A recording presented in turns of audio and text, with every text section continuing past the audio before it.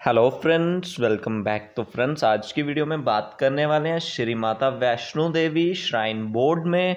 New vacancy आई हुई हैं। अगर आपने टेंथ पास कर रखी है, आप इन वैकेंसीज के लिए अप्लाई कर सकते हो। काफ़ी बढ़िया सैलरी इसके लिए रहने वाली है और ऑफलाइन फॉर्म इसके लिए रहने वाला है।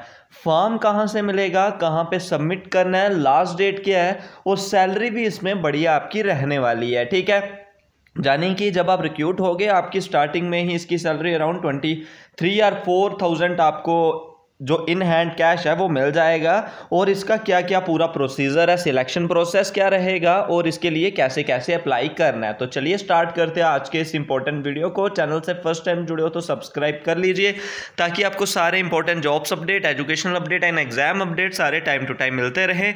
अब चलिए आगे बढ़ते आज के इस सेशन में। तो जे आ जाएगा आपका इम्पोर्टेंट ऑफिशियल नोटिफिकेशन तो पूरा कंप्लीट आपको मैं ये नोटिस भी प्रोवाइड कर दूँगा टेलीग्राम में। और इसका जो एप्लीकेशन फॉर्म है, वो भी सबसे पहले आपको चेक कराते हैं। जे आ जाएगा आपका एप्लीकेशन फॉर्मेट मैं दोनों का लिंक डिस्क्रिप्शन पे दे दूँगा टेलीग्राम का। टेलीग्राम को आप ज्वाइन करके वहाँ से अपने इस फॉर्म को डाउनलोड कर सकते हो और साथ में ही जो एडवर्टाइजमेंट नोटिस है, उसको भी डाउनलोड कर सकते हो। ये आपका एप्लीकेशन है एम्प्लॉयमेंट के लिए। इसको आप हैंड रिटन में फिल करोगे।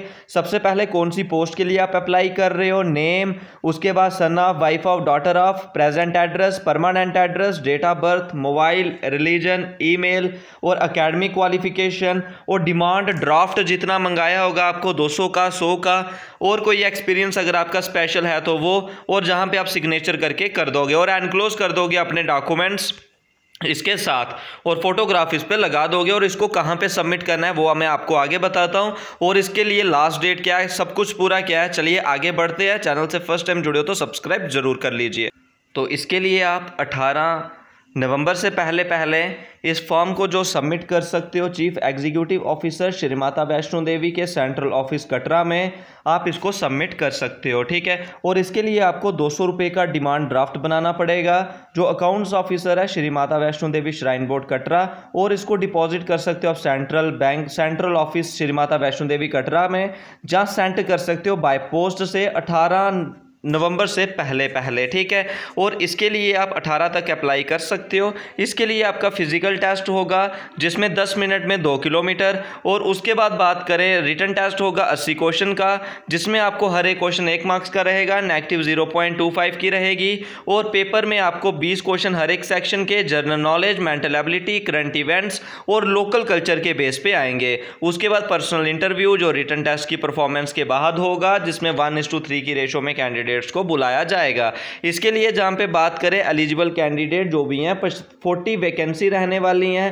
एनफोर्समेंट एंड सिक्योरिटी गार्ड की, जिनका पे लेवल वन रहने वाला है, चौदह आठ सौ से लेकर सैंतालीस हज़ार सौ तक, और जो क्वालिफिकेशन है वो इसकी अंडर हो जाएगी।